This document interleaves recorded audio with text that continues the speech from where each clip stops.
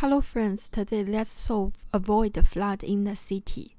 We are given an integer array, rains, and the uh, i means on day i, it uh, rains on the lake uh, rains i.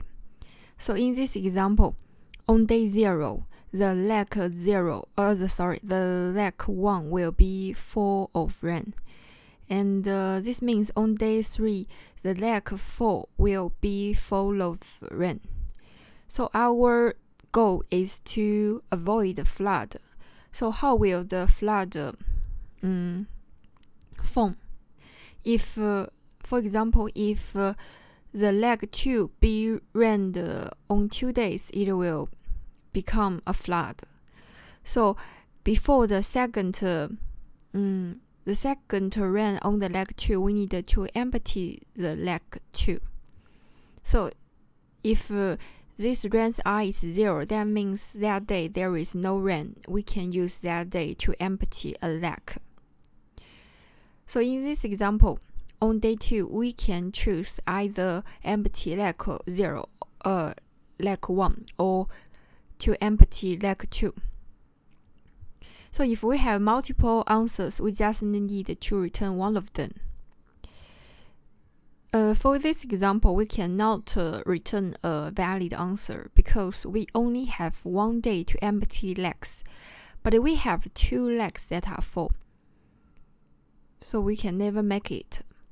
For this example, we have three days to empty legs, but we only have one leg that is full.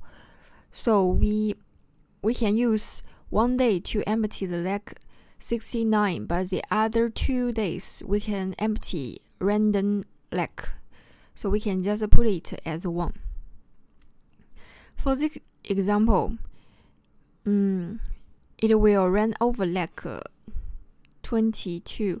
So it will uh, run this 22 twice, and we do not have any day to empty leg. So we just return an empty array.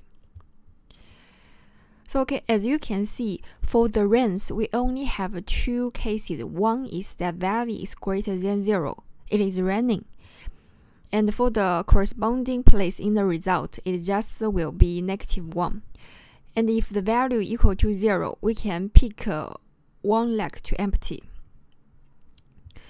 And uh, as we can see in the examples, sometimes we only have one possible result. Sometimes we have multiple results. For this example, for this zero, we can only use that day to empty leg 2.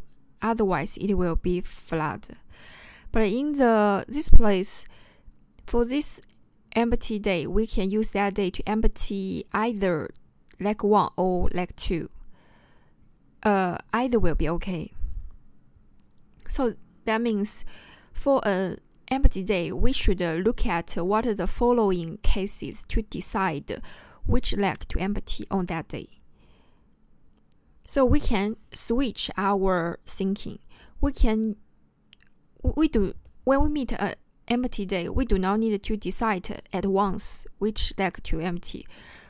Only when we meet uh, the same leg twice, the second time we can decide use which day to empty in a previous uh, occurrence.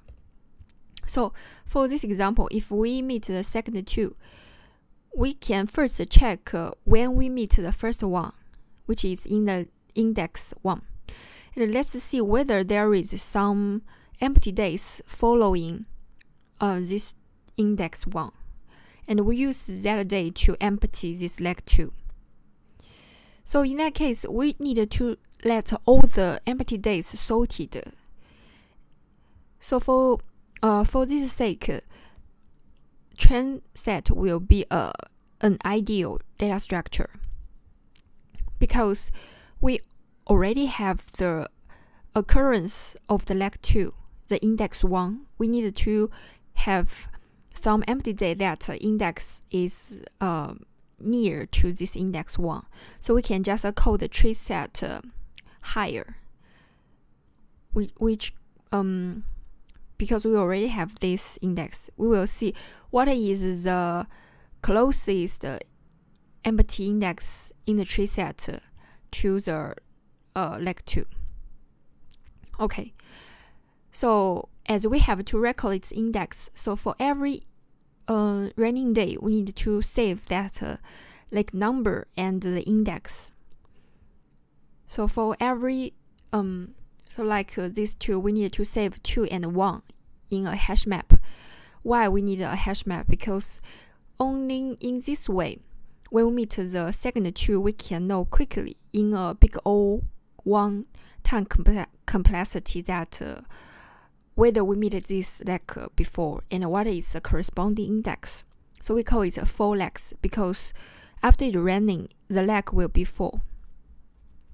Okay, so that's it. We iterate this running, uh, the runs array. If it is a uh, it is a running leg, and we will check whether we meet it before. So we just check whether it exists in the full legs. If it exists, we will see whether we can find a non-running day to empty that leg. So that should be after this running day. If we can find an empty day to empty this leg, we just change, we just put that leg in the empty days corresponding index on the result array. Otherwise, we just return empty array. That means we can never find a valid result. Every time, we need to put that leg and the corresponding index in the full legs because it is raining day. So time complexity is big O n log n, space complexity is big O n. We will see why uh, after we are um, writing this code. So let's write the code. We first get n, which is runs length, and we need a result array. The size will be n, and we will fill this result to one because uh, we may have some days that we can empty a, a random leg, so we just uh, fill it to one. Then we need a true data structure, which is true uh, tree set. We call it uh, empty day, uh, empty legs, because we can use these days to empty a full leg. And we also need a map, integer and integer. We call it uh, full legs. Why? Because we save the leg and its corresponding index. Okay, so we iterate this runs i less than n i plus plus. So we get a current leg which is runs i. If the leg greater than zero, that means in that day, one thing we should know is that we can do nothing. i will just be negative one. And we will see whether we meet this leg before if the full legs contains key leg. If we meet it before, we will see whether we can find uh, some empty day after its index. So we'll try to find an empty day. Use that day to empty its first occurrence. So that will be empty, empty legs higher. So what's the um, value here? That will be the first uh, occurrence. So full legs get leg. If we cannot find an empty day, if just equal to none, we just return an empty array. If we can find it, then the corresponding place in the result will be the current lake because we to we are going to use that day to empty that lake. And we need to remove that uh, day from the empty legs. We remove the empty day. Right? Remove empty legs, remove empty day. Yeah. And uh, if we are the second time to meet it, or we are the first time to meet this leg, we both need to put or update that leg and the index. Okay, so if it equal to zero, if it to equal to zero, we just uh, need to put that index to the empty legs add the current index i.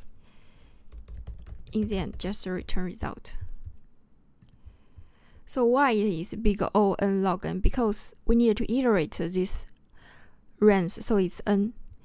And this part is big O 1 constant because it's a hash map. But uh, the empty legs is log n.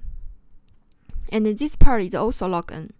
And uh, in the worst case, we need all the uh, values in the range are zero, so we need to VAT the log n times n, so it's bigger O n log n.